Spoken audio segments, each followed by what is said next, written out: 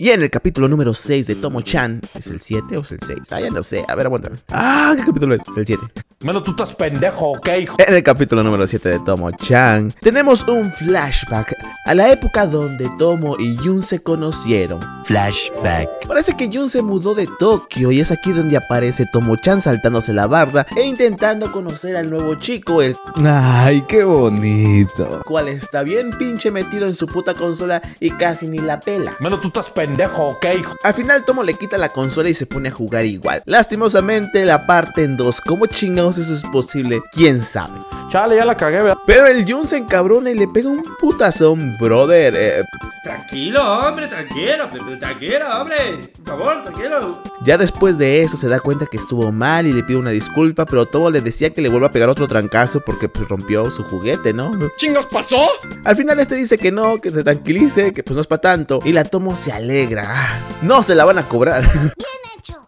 Bueno, unos minutos después llega el papá de Tomo y ambos se disculpan por la pendejada Pues sí, güey, no mames. y le dice que va a pagar su consola y es más, si necesita otra cosa lo hará porque es el papá de la niña. Ese es un verdadero hombre. Pero pues Jun dice que no, tranquilo. Por cierto, ¿dónde están tus papás, Jun? Aquí en Latam lo más seguro es que llegaran tus papás y le echaran bronca a la niña y así, bien culero. La verdad, las cosas como son. Aún así llega la mamá de Tomo y pregunta que qué chingados está pasando. No, ya valió madre. Tomo y su papá se ponen detrás de Jun porque le tienen un miedo terrible a la señora. Y este le pregunta al niño que qué le están haciendo, si le están haciendo algo feo. Este dice que no y finalmente se salva. Aún así, Tomo se toma la molestia de pedirle perdón. Ay, qué bonito. Después de esto, estos dos se vuelven muy amiguitos, van al parque, al lago, se parte la madre del Jun. ¿Chingos pasó?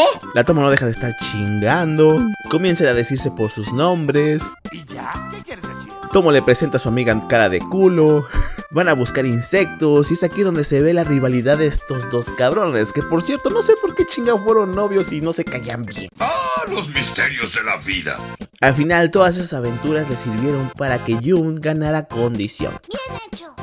A pesar de eso, llegaron dos putos bullying y le quitaron su consola, además de darle su buena madrina. No, cabrón, eso es pasarse de pinche lanza. Este dice que pues se cayó, pero en realidad Tomo sabe la verdad y por lo tanto decide ir y recuperar su consola. Aún así, este está encabronado porque le pegaron a su frágil masculinidad. masculinidad. Menos tú estás pendejo, ¿ok? hijo? Ah, le pegaron en el orgullo, ya es más que suficiente. Al saber que Tomo estaba peleando sus batallas, este se encabrona y por lo tanto le da su consola y le dijo que cuando fuera más fuerte que ella, se la regresara. Ese es un verdadero hombre. Han pasado bastantes años y Tomo se pregunta por qué no ha venido por su consola. Después de todo, ya es más fuerte que ella. Ah, los misterios de la vida. Dejando esto de lado, pasamos a lo que importan, waifus y bikini. Parece que las vacaciones de verano llegaron y ahora Tomo se prepara para ir a la playa. Al principio, Misuzu no quería ir ya que odia la playa, pero solamente con considerar ver la cara de Yun, avergonzado por ver el bikini de Tomo, valía la pena ir.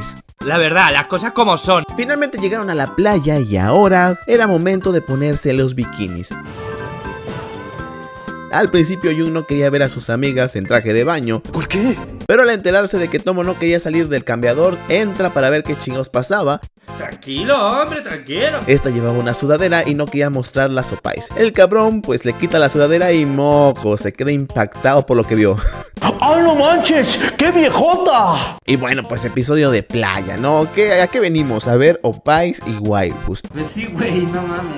Y así comienza. Lastimosamente, el Jun está preocupado pues porque su amiga está mostrando toda la personalidad y no sabe cómo sentirse al respecto. Así que se va con la que le cae gorda a refugiarse del sol. Esta le pregunta a Jun por qué no está jugando, pero este no sabe qué contestarle. No es hasta que llega Tomo y se lo lleva a la fuerza. Ay, qué bonito. Obviamente poniéndole toda la trama en el hombro sin que ésta se diera cuenta. Es aquí donde aparece Carol e intenta tomar el brazo de Jun para restregarle toda la trama. Consigue la tuya. Tomo se da cuenta y la ataca con una bola de agua. ¿Cómo eso es posible? Quién sabe, pero sí le pegó culero. Es aquí donde aparece un cabrón a llamarle la atención a Tomo. Después de todo está mostrando la trama y llama la atención de los juzbandos. Pues sí, güey, no mames. Pero este cabrón comienza de mano larga a meter mano para tocar opais. Al principio Tomo se siente un poco de incómoda hasta que de verdad le llega pues a colmar la paciencia y le quería pegar un buen golpazo.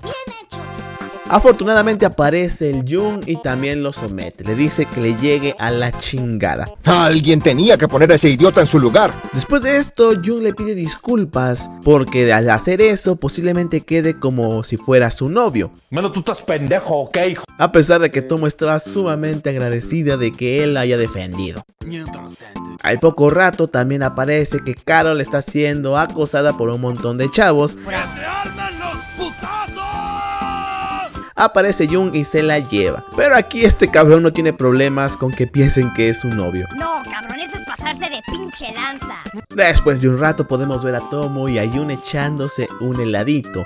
Ay, qué bonito. Es aquí donde Tomo se le cae un poco de helado en el hombro y en lugar de quitárselo con la mano, se lo lame, dejando una escena con bastante doble sentido.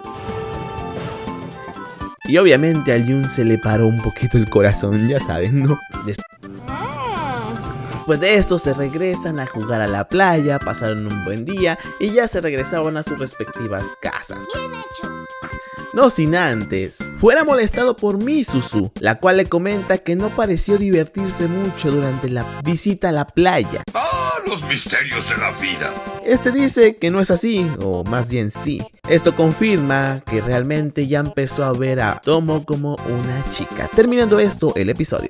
Si te gustó, por favor, suscríbete, dale like y nos vemos en la próxima.